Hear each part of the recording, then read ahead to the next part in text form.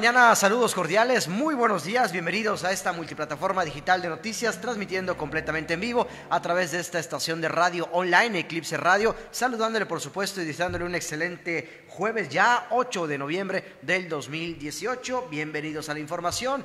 Damas y caballeros, sin más preámbulos, comenzamos con las noticias.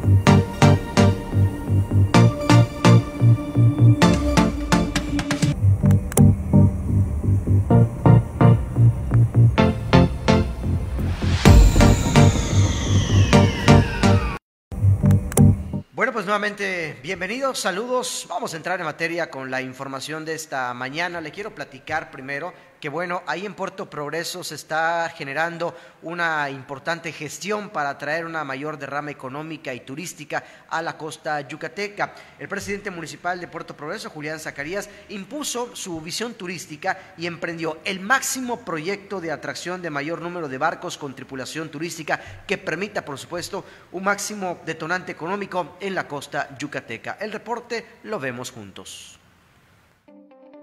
El presidente municipal de Progreso, Julián Zacarías, impuso su visión turística y emprendió el máximo proyecto de atracción, el mayor número de barcos con tripulación turística que permiten un máximo detonante en la costa yucateca. La búsqueda de un mayor éxodo turístico y derrama económica para el municipio y el estado de Yucatán comenzó esta semana con la promoción del sureste mexicano en el marco de la conferencia de la Asociación de Cruceros de Florida y el Caribe en San Juan, Puerto Rico. Julián Zacarías viajó acompañado del gobernador de Yucatán, Mauricio Vila, para la inauguración de un stand que provee los atractivos de Yucatán y sus playas. El presidente municipal, Julián Zacarías, junto con el ejecutivo estatal Mauricio Vila, expusieron ante los líderes de la industria los planes de cómo se trabajará actualmente en la mejora de la infraestructura buscando un mayor máximo impulso, el desarrollo de progreso, como puerta de entrada del comercio y el turismo de Yucatán. Con información al momento reportando para Eclipse Noticias, Wilber Cham. Eclipse, televisión digital. Precisamente estas gestiones que llevó a cabo el alcalde de Puerto de Progreso, Julián Zacarías, fue en Puerto Rico, donde como veíamos las imágenes viajó junto con el gobernador del estado, Mauricio Vila. Este viaje es el segundo viaje que lleva a cabo el gobernador Mauricio Vila en lo que va de, estas dos últimas semanas. Estuvo primero en Cuba, ahora en Puerto Rico. Y bueno, esto generó... Eh, vaya pues algunas opiniones encontradas en el Congreso del Estado donde se cuestiona estos viajes fuera del país. El reporte. Diputados del PAN salieron en defensa de los viajes al extranjero del gobernador Mauricio Vila, quien en las últimas semanas visitó Cuba y Puerto Rico. La diputada del PAN dijo que en esta ocasión los viajes fueron patrocinados sin generar gastos al gobierno del estado. En esa ocasión fue totalmente patrocinado los viajes de austeros y yo creo que él es un hombre austero y que seguirá en ese tono, ¿no? No se puede estigmatizar a la gente porque viaja. Creo que es parte de su trabajo. Lo importante es observar que es su trabajo, como te digo, de resultados. Por su parte, el diputado del PRI señaló que antes de cuestionar los viajes fuera del país, es necesario conocer el motivo de su ausencia en el Estado, los beneficios que traería. Habría que conocer primero el tema por el que viajan. Yo me enfocaría a lo primero en tiempos, saber a lo que se viaja, saber cuál es la intención de viajar, cuál es la proyección y busca los beneficios. Estoy seguro que los viajes que se planeen tienen un sentido. ¿sí? En ese sentido había que analizar cuál fue la solicitud de ese viaje para ver el resultado. Vale la pena destacar que el diputado de Morena, Miguel Candillano, cuestionó los viajes al extranjero del gobernador, quien según el legislador contradice su propuesta de austeridad, a lo que la diputada del PAN, Rosa Adriana Díaz, dijo que el mandatario solo cumple con las responsabilidades de su cargo en la búsqueda de beneficios para Yucatán. Con información al momento reportando para Eclipse Noticias, Wilber Chan. Eclipse, televisión digital. Bueno, pues sí tiene usted lo que está ocurriendo ahí en el Congreso. Oiga, vamos a otros temas. Mañana, mañana en punto de las 19 horas, 7 de la noche, será el corte inaugural del recinto ferial de Ismacuil. Es la 44 edición que se estará celebrando eh, en este 2018. Por supuesto, el acceso el día de mañana, según se ha dado a conocer, va a ser gratis eh, desde las 5 de la tarde, perdón, desde las 2 de la tarde hasta las 7 de la noche. El acceso será completamente gratuito, eh, vaya como una forma por la inauguración precisamente de esto que será el día de mañana. Ahora bien, la Policía Municipal, la de aquí en Mérida, va a iniciar a partir de mañana igual un importante dispositivo de seguridad en las terminales de camiones, toda vez de que de ahí saldrán las rutas con destino a la comisaría de Ismacuil. Eh, la información es la que nos comparte el director de la Policía Municipal, Arturo Romero. Como parte del operativo coordinado con la Secretaría de Seguridad Pública, elementos de la Policía Municipal de la Ciudad de Mérida brindarán con vigilancia los diversos paraderos con ruta al recinto ferial de Ixmaquil 2018, con el propósito de salvaguardar a los visitantes en su paso por el centro histórico. Así lo señaló en entrevista para Eclipse Televisión el titular de la dependencia policíaca Arturo Romero Escalante. Pero nosotros vemos aquí las salidas más que todo de los camiones. Ya ves que hay días que las colas pues son tan largas que requieren de alguna atención especial y el número de camiones que se utilizan para eso, eh, para la gente que sale a Seixmacuil. Romero Escalante adelantó que para el día 19 de noviembre, en el marco del desfile cívico-militar de la Revolución Mexicana, se llevará a cabo un operativo de vialidad, así como la participación de elementos en el derrotero revolucionario. Además del área de vialidad y de seguridad que tenemos por el cierre de calles, eh, la Policía Municipal va a participar con un contingente en el desfile del... Con imágenes de Daniel Martínez, informó para Eclipse Televisión, Shomara Padilla. Eclipse, Televisión Digital.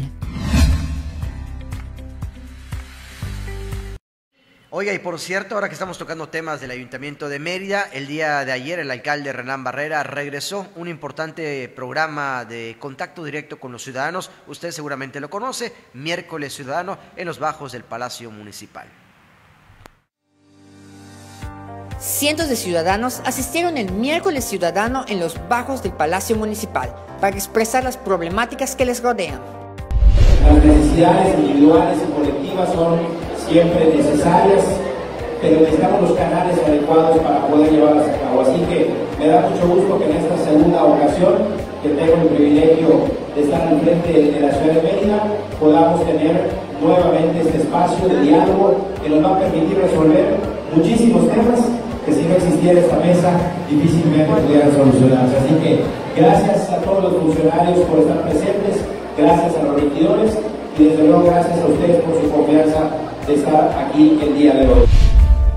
En entrevista para el de Televisión, el director de Desarrollo Social, José Luis Martínez de Merena, platicó sobre el nuevo proyecto que llevará a cabo el Ayuntamiento de Mérida, replicando así el miércoles ciudadano en las comisarías. La idea es que en ayuntamiento en tu colonia lo podamos estar haciendo en las colonias y en las comisarías de Mérida. Entonces, esta es una iniciativa que hay que felicitar, hay que aplaudir y que lo que hace es precisamente esta nueva forma de gobernar que se llama gobernanza, que es ir de mano con la gente, ¿no? Por su parte, el director de Bienestar Social, Jorge Martín Gamboa Wong, dijo que el objetivo del miércoles ciudadano es tener un contacto directo y cercano con la gente. Eh, ha tenido algunas interrupciones por diferentes razones, pero ¿cuál es el objetivo? El objetivo es tener contacto directo y cercano con la gente, de la gente con las autoridades, y buscar una solución conjunta de manera rápida. Con imágenes de Daniel Martínez, presentó para Eclipse Televisión Kevin Castillo. Eclipse, Televisión Digital. Bien dicen que el objetivo es tener este contacto directo con los ciudadanos. Ahora la pregunta es, ¿qué opinan los ciudadanos del regreso de miércoles ciudadano a los bajos del Palacio Municipal? Escuchemos. Vecinos de la capital yucateca externaron su aceptación por la continuidad del programa de miércoles ciudadano, que les permite entablar un acercamiento con los diversos funcionarios de la actual administración de Renan Barrera por lo que ven con buenos ojos esta iniciativa del alcalde, por la apertura del diálogo entre ciudadanos y autoridades. Necesidad que tengan los ciudadanos, pueden acercarse a ellos directamente y tratar de solucionar sus problemas. Bueno, es buena, es buena, para muchas personas es, es buena. Hay millones de, de problemas, ¿verdad? Aquí, en el- aquí que, que solucionar. Y Pues es muy bueno porque hay veces uno no sabe dónde acudir. Pues aquí están concentradas todas las dependencias y aquí ya te asesoran con mayor facilidad. Es así como el Ayuntamiento de Mérida, que encabeza el alcalde Renán Barrera Concha, cumple con su compromiso de mantener lazos cercanos con sus habitantes, el cual es el primer propósito del programa Miércoles Ciudadano. Informó para Eclipse Televisión, Elka González. Eclipse, televisión digital.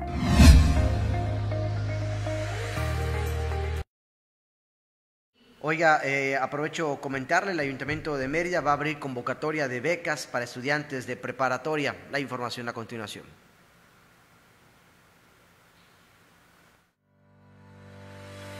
Ayuntamiento de Mérida apoyará a estudiantes de preparatoria. El director de Bienestar Social, Jorge Martín Gamboa Wong, dijo que se está trabajando en un proyecto del 2019 por parte del Ayuntamiento de Mérida para abrir un fondo de becas para estudiantes de preparatoria. La intención para 2019, el proyecto para 2019 es generar un fondo de becas para, para chavos preparatorianos. Esto lo tendremos que, lo estamos trabajando como proyecto para presentar en las próximas semanas al Cabildo y lograr un presupuesto suficiente para poder apoyar al mayor número de gente. El Ayuntamiento de Mérida entregará un estimado de 500 a 700 becas en busca de ayudar a más jóvenes para continuar sus estudios. Pues nosotros estamos considerando empezar con 500, 700 becas, ¿no? Pero todo dependerá del presupuesto que, se aprueben. Repito, el alcalde Hernán Barrera está muy pendiente de este tema de, de ap- apoyo a los muchachos de preparatoria, porque es justamente en la preparatoria en donde se da el mayor índice de deserción, de abandono escolar. Entonces queremos reforzar ahí en lo que podemos como ayuntamiento para que esto eh, cada vez sea menor. ¿no? Con imágenes de Daniel Martínez, presentó para Eclipse Televisión Kevin Castillo. Eclipse, televisión digital. Oiga, vamos a otros temas. Toquemos información del Congreso del Estado. El platico que en una sesión eh, de los integrantes de la Comisión de Postulación de la Medalla Héctor Victoria Aguilar aprobaron por unanimidad el proyecto de convocatoria para la elección del galardonado que deberá recibir dicha presea el próximo viernes 11 de enero del 2019 en el marco de la conmemoración del centenario de la Constitución Política de Yucatán. En la comisión se informó que una vez publicada la convocatoria en el Diario Oficial del Estado y en medios locales, se tendrá hasta el 30 de noviembre para la recepción de las propuestas de candidatos en la oficialía de partes de lunes a viernes de 9 de la mañana a 3 de la tarde, a excepción del último día que será hasta las 24 horas. Por lo tanto, se convocará a los poderes del Estado, los organismos públicos, a las organizaciones sociales, científicas y culturales de enseñanza superior, medios de difusión e instituciones de cultura de la entidad para que presenten sus propuestas que deberán ser mujeres y hombres distinguidos por su ciencia, aportación al campo del derecho, arte, cultura, promoción y defensa de los derechos humanos, preservación del medio ambiente y cualquier otra actividad humanista en beneficio del Estado, la nación o la comunidad universal. Parte de lo que se da a conocer en eh, actividades del Congreso del Estado. Oiga, vamos a hacer un poco de recorrido hacia Campeche.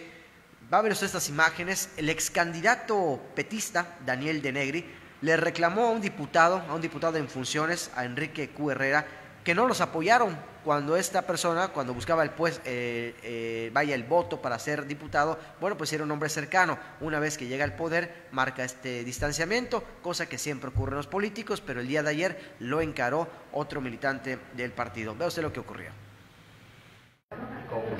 su acción que ha tenido de bloquearme por el teléfono. Yo, de verdad que usted ya tiene algo personal, tanto como con el partido, conmigo, no lo sé por qué. Yo lo único que le he pasado son gestiones de la gente que ha confiado en mi trabajo, que yo vine trabajando porque usted y Etelina están en la posición por el trabajo de los diputados. Y yo creo que se me hace injusto si usted predica por la educación, por lo menos de contestarme un mensaje y decirme, Daniel, no se puede, no se idea, es lo que tú piensas. Me bloqueó, o sea, me bloqueó del Face, me bloqueó del, del WhatsApp. Entonces ya hay algo más personal. ¿no? No, no tanto porque me habla, sino porque hay gestiones. Nosotros tenemos tres semanas trabajando con la salud y Ana María nos está apoyando económicamente. Y yo creo que tanto como Etelvina, tanto como usted, hoy están al frente del partido y nos están representando. Y hay muchas cosas atrás que la gente confió y que hoy están ustedes aquí para representarnos.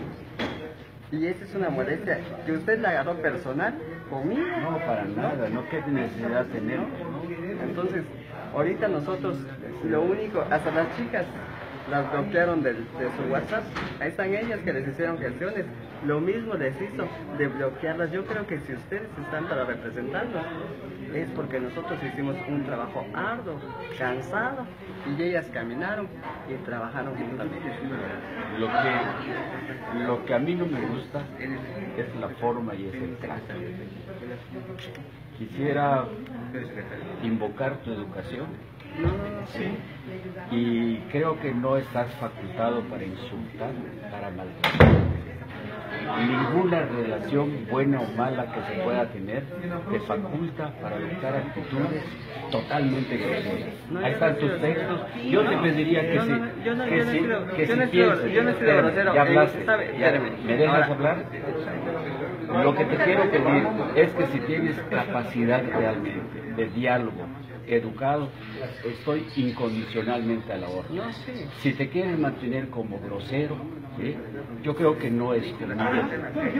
Entonces, tú decídelo. es, que la, es, que la, parte grosera no fue de mi parte. Recuerde que le hice tres gestiones. Por eso. Y le hice una personal para mí. Y en las tres, nunca me dijo si sí, si no.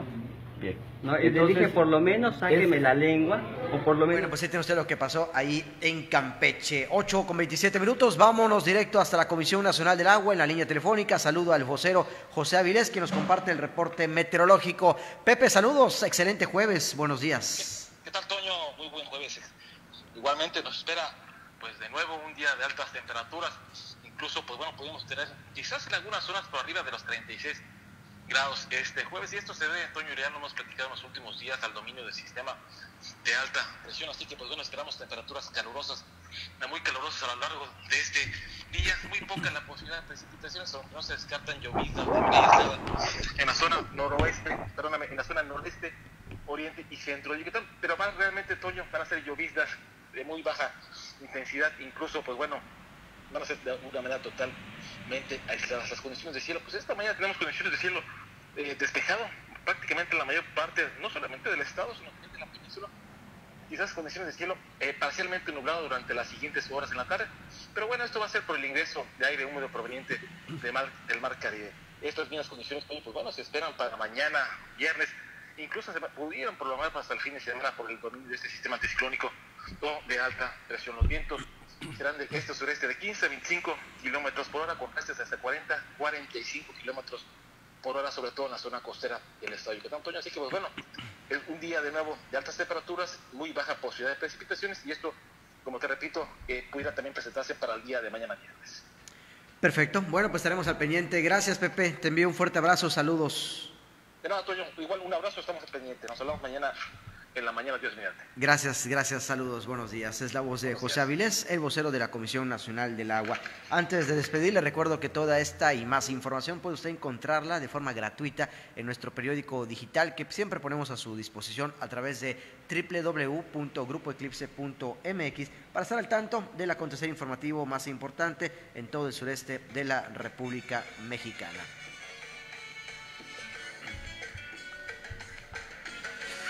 Ya nos vamos, gracias por la sintonía, que tenga usted una excelente mañana de jueves. Yo le espero esta noche, 7 en punto, 19 horas, a través de la señal informativa de televisión digital Eclipse TV. Hasta entonces, saludos, gracias, muy buenos días, nuevamente excelente jueves.